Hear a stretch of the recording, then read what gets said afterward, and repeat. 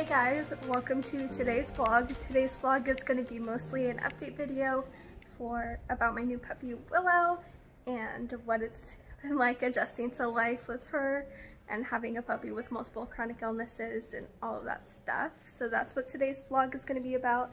And right now we're outside, so I'm sitting in a chair and she is in her playpen. She's calmed down now, but she was really upset because she's in the playpen. So I guess I will share about the first night, but before I do, I want to say that she's found her voice. Um, but oh my gosh, she's chasing her tail. She's never done, she hasn't done that. That's so funny. Okay. oh my gosh.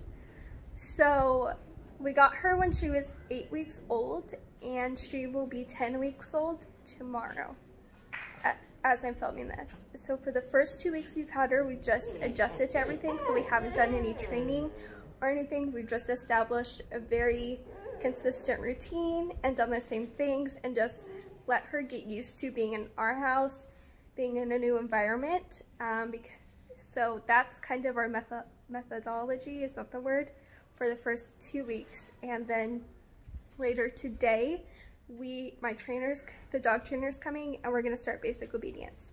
Um, like the very, very beginning of it. Um, but we wanted to make sure she acclimated and had a long time too because it's a marathon, not a race. And we want to set her up for success for service work. So anyways, I digress.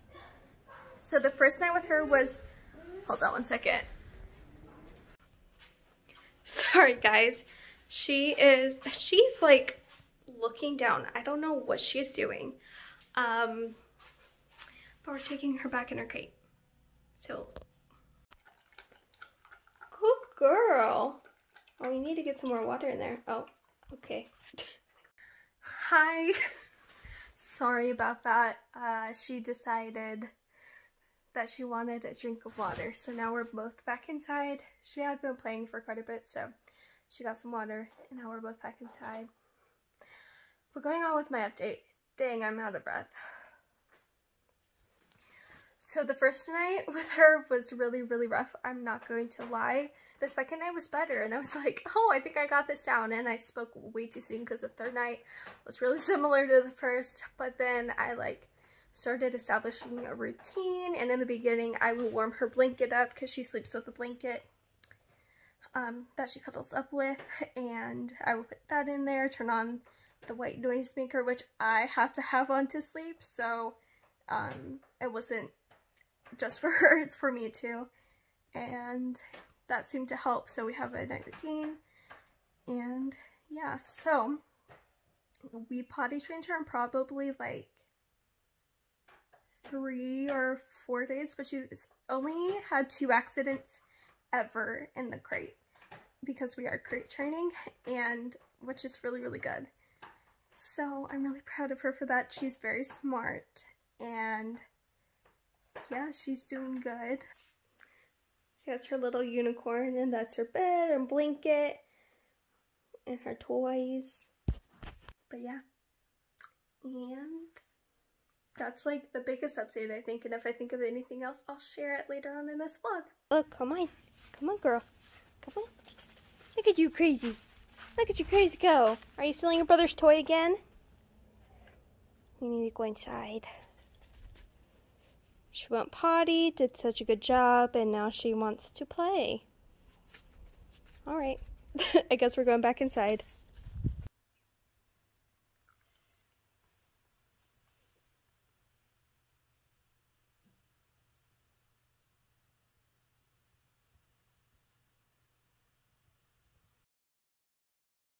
Someone's having their first ever, well not their first ever vet visit, they've had one before, but their first vet visit with us, huh? She's not happy. She's a very sad girl. She actually just wants to get down and sniff is what she wants to do. I know. She just wants to explore and sniff and play. But we are holding her and she doesn't really like being held right now because she's a very active puppy. She's basically a toddler so she doesn't like it, but we're getting um, another round of shots. So far she's had her parvo, her distemper, and the one other. And then I think we'll she's see. getting one or two today. And we'll see how much Porker weighs. Yes, we're interested to see how much she weighs, so I'll let you guys know how it goes. Hi guys, so we are out of the vet obviously and Willow did so good. I'm so proud of her. She was not happy. She was very upset. I think she fell asleep. She looks like she's asleep. Yeah. Um, she was very, very vocal and barking up a storm in the room. Oh my gosh, she sounded like a little chimpanzee slash pig, you know, when they squealed. Like, yeah. Like, oh my goodness. Yeah, it was really funny, but I don't blame her. It's a new environment. And the biggest thing was she wanted to go down and explore, but we didn't want that, so she hasn't had all her shots yet, and we don't want her to get sick. So, um, yeah. She weighs 13 and a half pounds. She weighs 13 and a half pounds. She got some more shots today, which is good that we have another appointment in four weeks. Let's see, what else did they say? They said she's really adorable. Yeah, that she's really adorable. And I'm really grateful because our vet, like all vets in the area, yeah, she's passed out. Um, in the area we live in are don't allow anyone inside. They just take the dogs at the door and go inside. But because we had mentioned my trainer's name, which they know him, uh, my dog trainer, they said I could come in and I was so excited and so happy that I could go in with her. That just made me happy. So I could also have to do that she's a puppy puppy too. But yeah, so everything went good. I'm very proud of her. And we set a towel down on the ground and vacuumed everything under it so she could lay down if she wanted and that's what she's doing. So I'll show you guys her.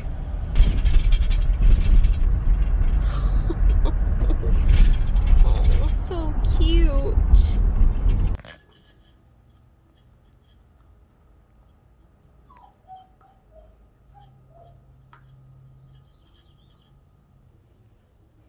So, oh wow, my mascara smudged. Um, I'm getting ready to go to bed.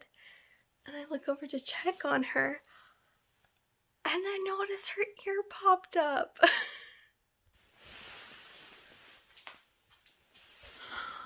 Your ear popped up. Look at that. Oh, now it's floppy again. But look. That one's totally more up than that one. Oh my gosh that. Oh, don't mind my crazy hair, I just noticed. But that's crazy, my baby girl's growing up. Here, I'm gonna turn around, the camera around again. Oh. And I've disrupted the peace. I should not have done that. Anyone who's crate training, uh, don't do what I just did. Don't go up to them, um, like that. She'll be fine. Oh, there she is. She's already settling on her bed.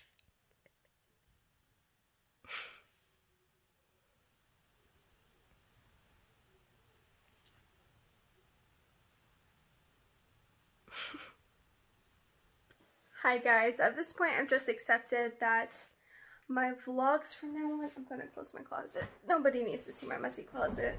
Here, I'll just, I'll just go over here. Um, but I've accepted that at this point. Vlogs for the next little bit are going to be a compilation of clips from different days and it's not going to be very consistent and I apologize for that, but it's just my real life right now. I keep forgetting and I have a puppy to take care of and right now she decided to, she's completely potty trained to the point where she lets us know, like lets me know when she has to go to the bathroom, lets me know like when she wants to get water, like th there's a whole thing she does that I'm able to tell with no warning, with no peek from her at all. She flips her bed upside down, peed in it, and then proceeded to pee on her blanket. So both of those are in the wash now. And we have and we have a Becca bed that she's now deciding to destroy by chewing it. Because she is a very teethy, mouthy, bitey puppy today. So I have to take that from her because it's bedtime and I do not want to one wake up with it destroyed everywhere and two I don't want to worry throughout the night that she's um, gonna eat stuffing or something and she'll live. She, she'll survive with no cushion just for a night, so wish me luck on getting it without her escaping and going crazy.